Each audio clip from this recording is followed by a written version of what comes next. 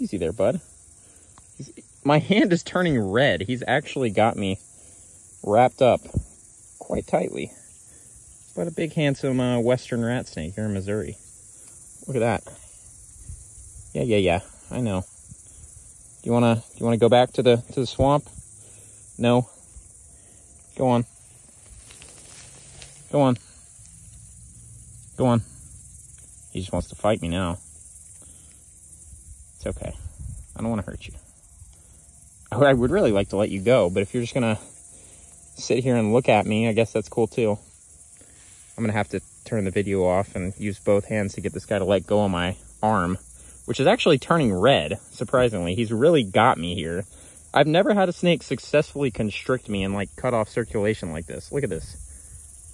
It's pretty nuts that a snake this small can actually successfully do that. Really wild.